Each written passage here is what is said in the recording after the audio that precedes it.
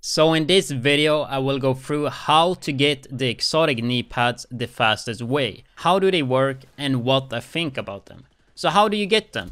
The good and the bad part is that they can drop anywhere. It's a random drop.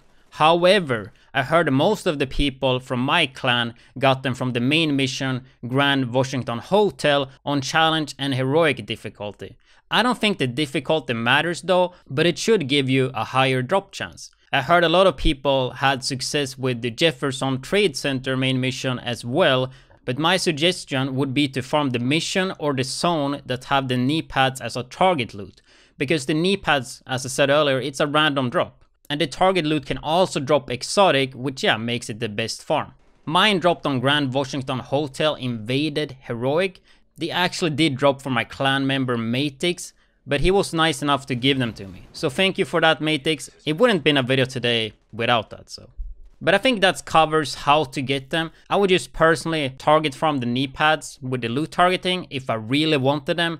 If you feel like you can wait a bit, I would just farm whatever else you want to farm. And I mean, over time, you should get them. So what makes these exotic knee pads different from all the other knee pads and yeah, how do they work? So if we look at the knee pads, we can see that it doesn't have an attribute like a normal knee pad, but it have three unique talents and also three mod slots, two being defensive and one being utility. If we move on to the talents, the first talent is called Short Circuit and it gives you 80% jammer pulse charge speed. So with that, the jammer pulse is actually extremely fast and it's nice to use. I think we all know how slow the jammer pulse is usually. The second talent is called First Wave Tech. Disruption effect now destroy hostile skill proxies. So if you disrupt skill proxies with like a EMP, they get destroyed no matter what. Then after staying in cover for 4 seconds, you gain the lead by example buff, which is the third talent. And with that talent, you gain 50% bonus armor when you perform a cover to cover move. So when you start the cover move and like until you reach there, that's when you like have the 50 bonus armor. If the distance traveled is at least 8 meters, then it disrupts all enemies within 10 meters and you gain 10% bonus armor for each blue stat you have for 4 seconds. So if you have 3 blue, then you get 30% bonus armor. The disrupt occurs 1 second after completing a cover to cover move. So it's a bit similar to Division 1's Nimble, however, you have to wait 4 seconds before doing a cover to cover move to actually get the 50% bonus armor. You will see a blue circle that indicates the EMP radius, so when you see that, you will get the cover to cover move bonus armor as well, and obviously yeah, it will do the EMP effect when you hit the cover. Also, when you hit the cover, you will get 10% bonus armor times the amount of blues you have, as I said. I actually really did enjoy this uh, exotic knee pad and I think they're actually pretty good. Like it's a fun function and when you're playing against Black Tusk, you can just EMP all the robot dogs and such. And even using this for just only the armor buffs could be pretty good as long as you're not playing a Berserk build. So like having one of these for maybe the upcoming raid, it will definitely be useful. I can even see this being quite powerful in the right scenarios in PvP, especially since a lot of the builds are pretty armor heavy with a lot of blues. Like having 10 blues would give you 40% bonus armor in PvP, compared to 100% in PvE when you hit the cover. But still, like 40% bonus armor is still quite a lot. And it's an easy counter to a lot of the skills with the cover to cover effect. And I mean, if you have the jammer pulse equipped like that 80% jammer speed, it, it's really, really nice. But I think that's gonna end the video though. I'm, I'm really happy with the, this exotic. I, I think uh, the developers did a good job on this one. Let me know what you guys think and let me know where you got this drop. And yeah, I do have some more videos planned with title update uh, 6, some build videos, some tips and tricks videos. So yeah, stay tuned for that. And see you guys in the next video.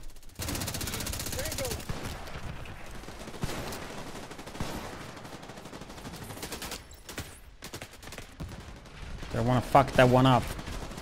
Ah ha ha, got you. Easy.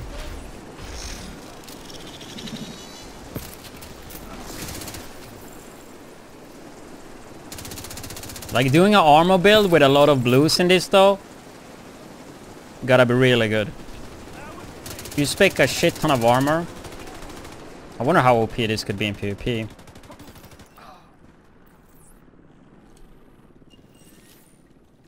Depending on what the meta is, right? I know that it's balanced a bit different. Like if we check here, we can check PvP talents, right? So in PvP, it gives you 4% bonus armor instead of 10. Let's say you do like a 10. You would still get 40% bonus armor, dude, if you would go like uh, a... Just max the shit out of blues, right? You would still get like 40% bonus armor.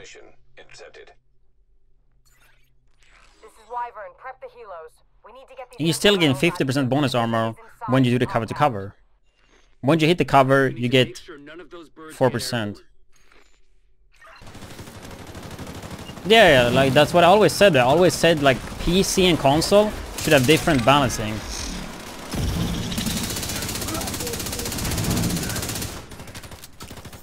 Like console should have re less recoil.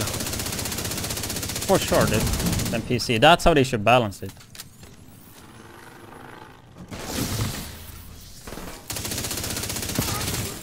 This gotta be insanely good for console though.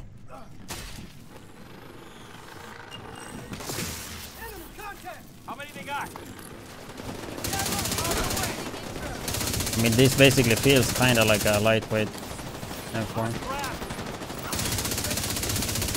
I don't like that this is like what this gun right here, the name one, this is probably one of the the best guns, dude.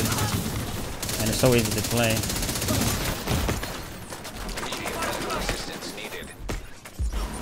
I'm actually gonna die to that.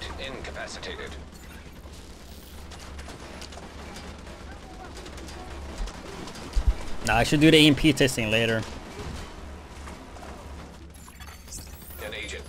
Now the, the thing, how I like them to balance games, you can have fast time to kill in that, and the way to like balance it is to have like pretty high recoil. Or you can have like tanky as fuck and like barely any recoil clearing out Black Tusk as you find them. Their property. Now I understand a lot of people don't like uh, recoil though. Like I, I love it. Like I think it's it's fun.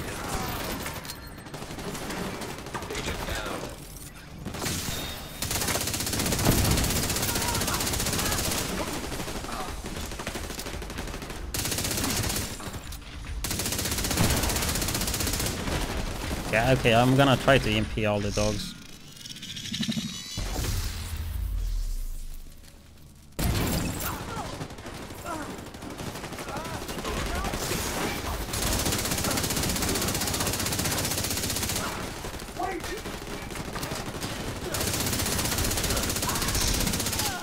Now this is definitely definitely a nice uh, exciting EP though. I'm liking it. Obviously you give up a lot though, but like having one guy playing this against like robot dogs and all that, it's gonna be big. Especially if you're like playing raid, like having one guy just going something like this. Like sure, like you're giving up, you're giving up like some stats on the knee pad though. But you can use like EMP all day like this.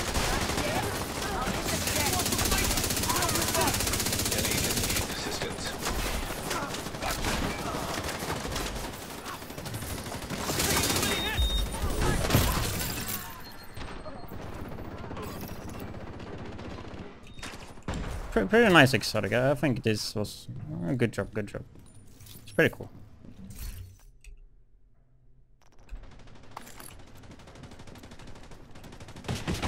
And the fact you get like bonus armor on the way and bonus armor after. Because like going in like this. Like going in like this is pretty suicide. But you get the bonus armor. And then depending on how many blues you have. You get the bonus armor back as well when you hit the cover. It's like pretty oh simple, simple to simple, similar to Nimble, just that it's like a bit better in some cases. Like it's bonus armor, so it's not HP like it was in Division One, right? But go go go go go go! No no no no no! Doggy doggo! Got him.